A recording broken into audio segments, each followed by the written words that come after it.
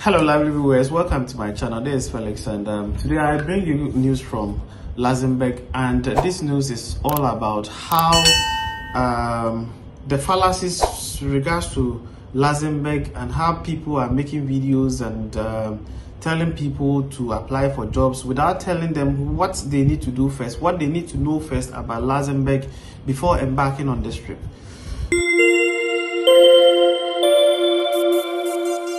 Now, the first thing is that Luxembourg is part of Schengen, one of the Schengen states. That is, with uh, you getting their visa, you can enter into any of the Schengen territories like Germany, Finland, Netherlands, and or Belgium, and all the other um, Schengen states. But if you are going on a working visa, of which a lot of people are making videos about going there with a working visa, you need to go to their official or their embassy, not a consulate or let's say their representative. So, for instance, um, Luxembourg doesn't have an embassy in Ghana, Kenya, or Nigeria.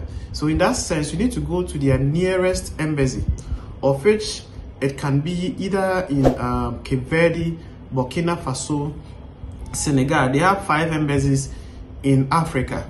These are the places that you can go and do your visa submission to get your card to go to Luxembourg to work based on the offer that you will get.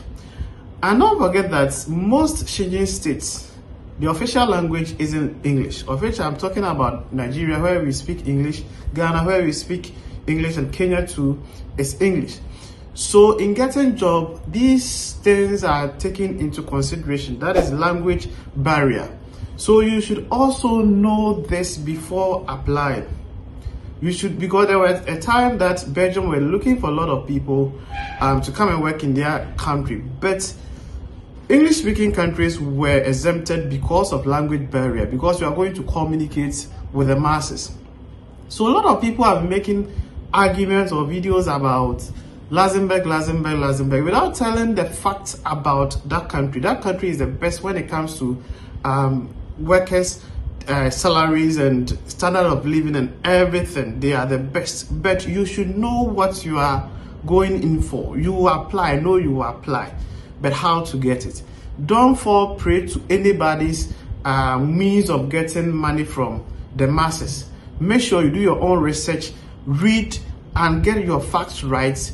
Make sure you know what you are going to do, where you are going to do, verify information from, let's say, if someone is doing from you, the person that or the institution that is giving you the sponsorship that you are going to use it to apply for the visa. You have to go and do your biometrics and those kind of things, fill your forms and everything before you get your visa to travel. Make sure all these things are followed before you travel. Don't fall prey as it happened to Canada. People say you can use the LMIA direct, get your job and travel without you uh, passing through the express entry and people will get stuck in the middle of the process. And some people have even applied with fake documents and those kind of things. Don't fall prey to. Same apply uh, uh, happened with uk where a lot of people were making noise on social media especially on tiktok. Let us be guided. As it happened to canada uk and others let's be guided when we are dealing with anything immigration because i know my people you will just troop into it. We just troop into any information that we hear on social media without verifying it ourselves. So luxembourg is one of the best nations that you can go.